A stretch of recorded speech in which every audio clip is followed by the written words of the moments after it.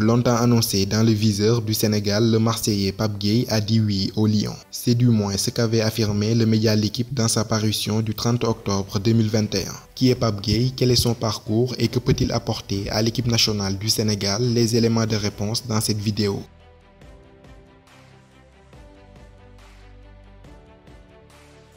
Né le 24 janvier 1999 à Montreuil, en France, Pape Alassane Gueye débute sa formation au club de Blanc-Menis qu'il intègre en 2005. En 2012, alors âgé de 13 ans, il s'en va poursuivre son cursus footballistique à l'Académie du Havre. Une véritable usine à pépites où se forgent les futurs cracks du ballon rond. De Paul Pogba à Edouard Mendy, en passant par Benjamin Mendy, Ferland Mendy et Riyad Mahrez, la qualité de la formation havraise n'est plus à prouver.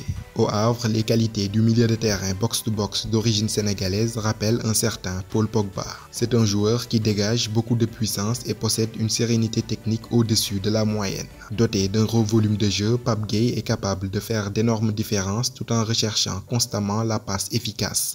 Il a également un très bon sens du placement et une grosse qualité de récupération. Fin de citation. C'est en ces mots que l'avait décrit François Rodriguez, directeur du centre de formation du Havre dans les colonnes du Parisien. Au Havre, Pape Gay y gravit progressivement les échelons. Après avoir évolué avec les U17 du club, il sera vice-champion de France des moins de 19 ans. Il passera ensuite deux saisons en réserve avant de faire le grand saut vers l'équipe première.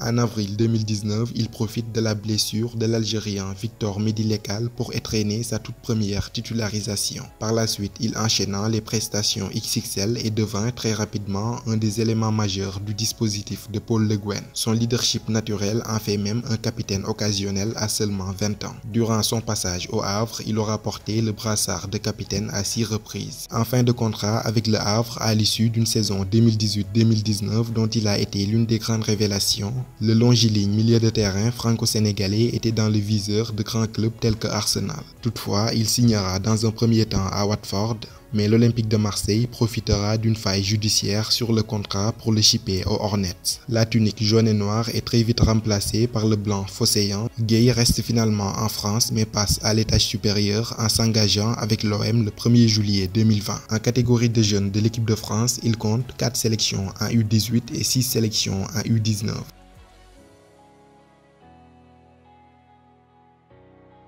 Intelligence, puissance, endurance, qualité technique, vision de jeu et agilité sur les longues et courtes relances, ce sont les mots qui décrivent le mieux les atouts du jeune milieu de terrain sénégalais de l'Olympique de Marseille. Pape Alassane Gueye, c'est une patte gauche délicieuse et un volume de jeu impressionnant. Un alliage parfait de puissance et d'agilité. En mars 2021, l'arrivée de Nampalis Mendy en sentinelle avait apporté une touche technique supplémentaire au jeu des Lions. Toutefois, au fil des mois, le temps de jeu du joueur de Leicester s'est considérablement réduit en club. Chez les Foxes, Nampalis ne joue quasiment plus et à seulement quelques mois de la Cannes, ça risque d'être problématique pour le Sénégal. Conséquence, lors des deux derniers matchs du Sénégal, c'est Kouyaté qui avait placé en sentinelle.